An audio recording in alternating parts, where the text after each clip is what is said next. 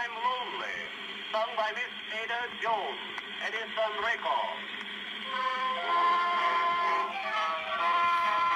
record.